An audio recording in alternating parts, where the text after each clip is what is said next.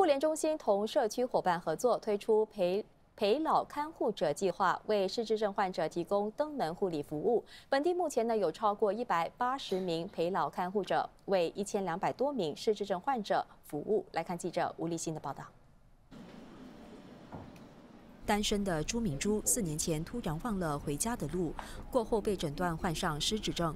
为了更了解姐姐的病情，弟弟朱福成辞去文员工作，到中央医院当护理人员，实地学习怎么照顾失智症患者。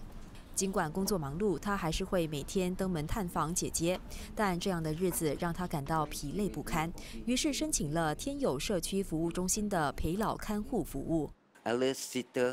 comes to my sister's home every week. Then she will let my sister play some games, let, let her mind preoccupied so that she will not be lonely. At the same time, it will help me to enlighten me so that I don't have too much stress. 社区服务中心目前有五个陪老看护者。